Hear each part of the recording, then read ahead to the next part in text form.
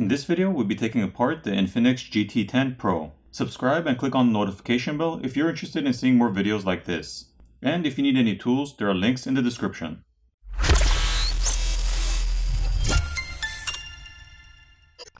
To start off, the SIM tray needs to be removed.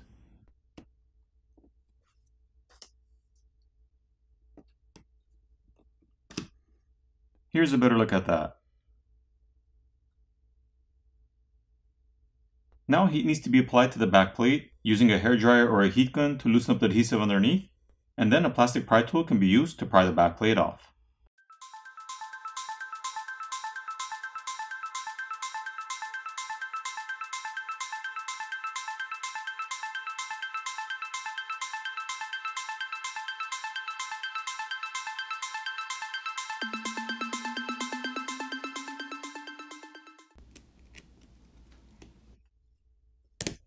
Whoever assembled this phone forgot to remove the film over the adhesive strip, so that will definitely compromise any sort of water resistance this device may have.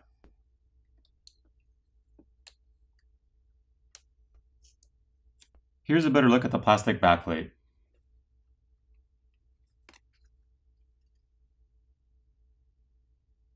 This glass camera lens cover can be replaced by applying heat and gently prying it off, so you don't need to take apart the phone to replace that.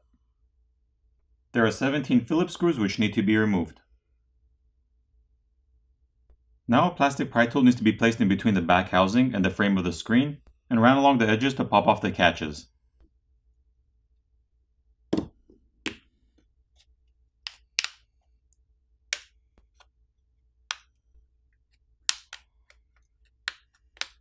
Now before you completely lift up and remove the back housing, the flex cable for the LED light needs to be disconnected from the main board.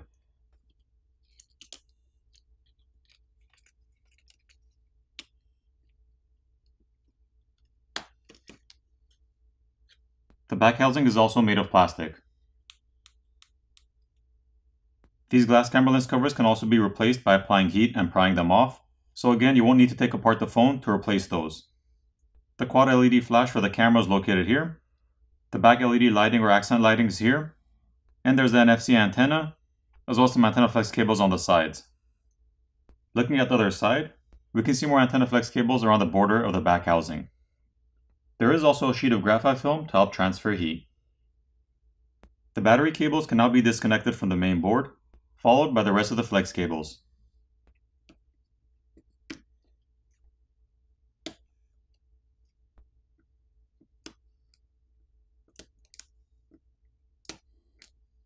The two coaxial cables on the right side of the board can be disconnected by just popping them off.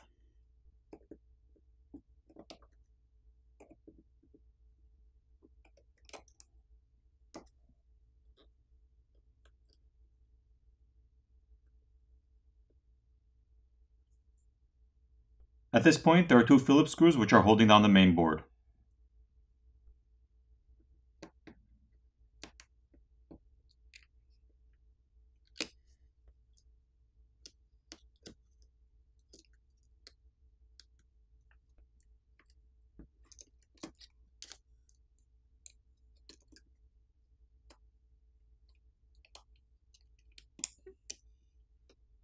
Looking at the main board, there's a 108 megapixel primary camera and a 2 megapixel depth and macro lens.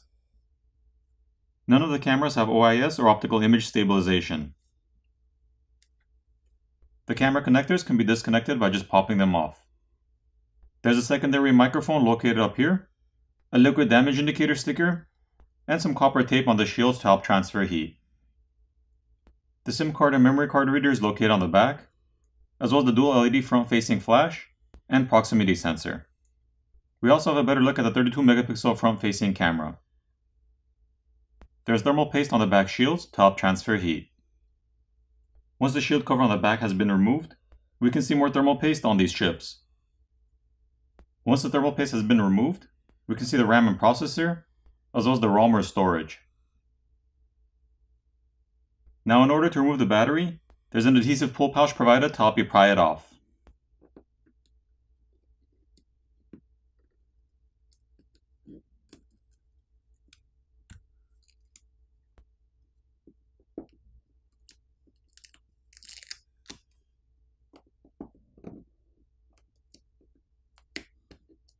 Mm-hmm.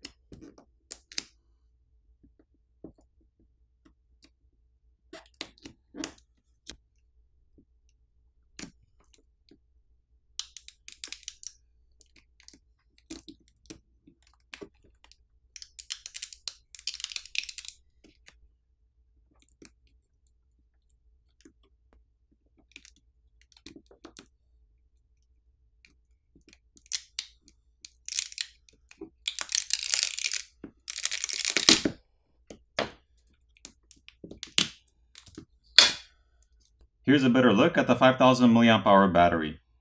And even with that adhesive pull pouch provided, it's still difficult to pry this battery off with that pull pouch, so you will need to heat it up a little bit or use some tools to help you pry it off.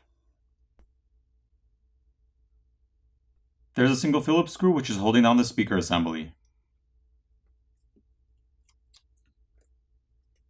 There's some more graphite film over the speaker assembly. And here's a look at the speaker itself. The flex cable for the fingerprint sensor or fingerprint reader, as well as this flex cable and the other two ends of the coaxial cable need to be disconnected from the subboard.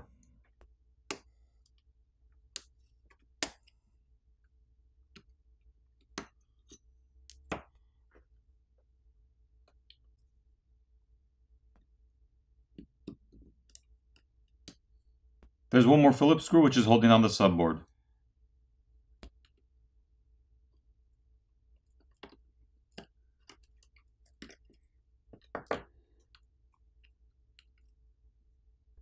Rubber gaskets around the charger port and headphone jack, as well as a liquid damage indicator sticker. And the primary microphone is located underneath this rubber gasket.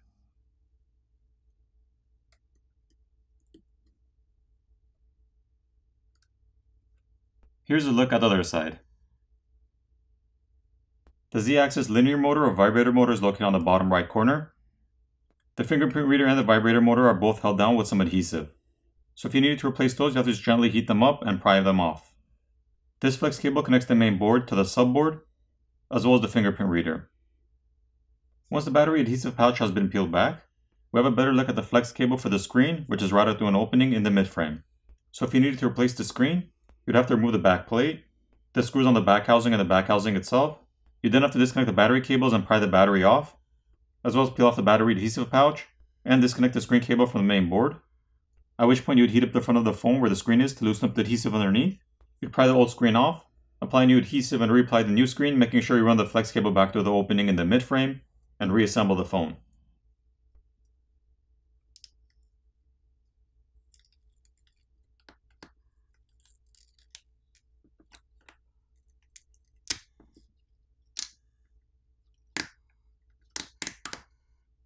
Once those flex cables have been peeled back, we have a better look at the copper vapor chamber which runs underneath the battery as well as the motherboard.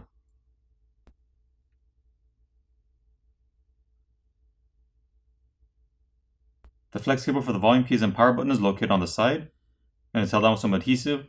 To replace that you have to just gently peel it off. And the earpiece speaker is located on top which is also held down with some adhesive. For the repairability score on this phone I give it a 5.5 out of 10. Now it's time to reassemble the phone.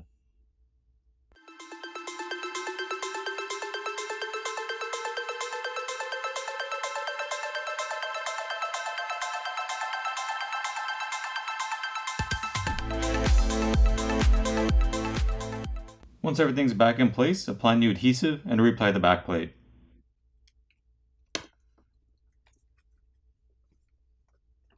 Flip over the phone, power it on, and you're done. Thanks for watching, and I'll see you in the next video.